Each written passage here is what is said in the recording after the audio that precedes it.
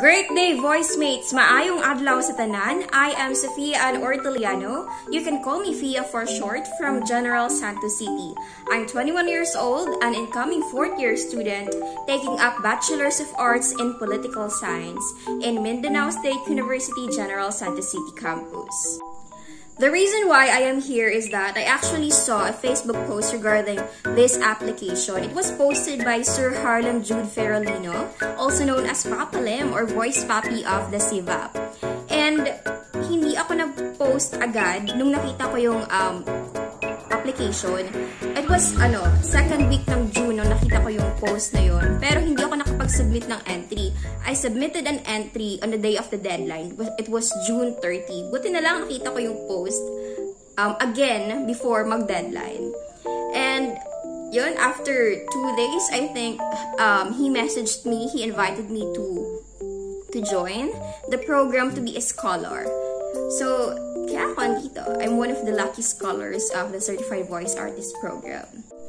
And of course, one of the main reason kung ba't ako andito is that I wanted to learn more about voice acting, dubbing, voiceover, hosting, because yung mas alam ko kasi, or, although I don't have any background or any platform before in the industry of broadcasting or newscasting ha, um, the only platform na meron ako kung saan, kung saan ko ini-express yung sarili ko is through a classroom activity, um, an oratorical competition.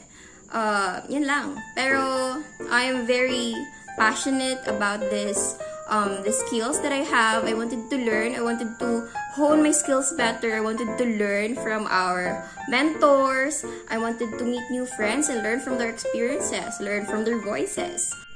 My expectation about the program is it will help me um, tutulong ito na mas makilala yung bosses ko.